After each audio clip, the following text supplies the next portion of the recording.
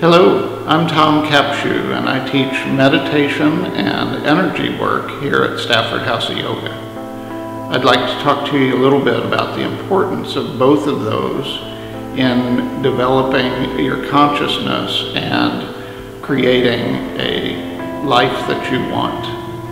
Meditation is a part of yoga and it's the ability to be fully present in the moment and to disengage your mind from the everyday activities of navigating the world. With meditation, it's a practice just as yoga is a practice, and most of us are not that good at it when we begin. But over time, with practice, you become better and better at being both mindful and being able to disengage your mind to reduce your stress.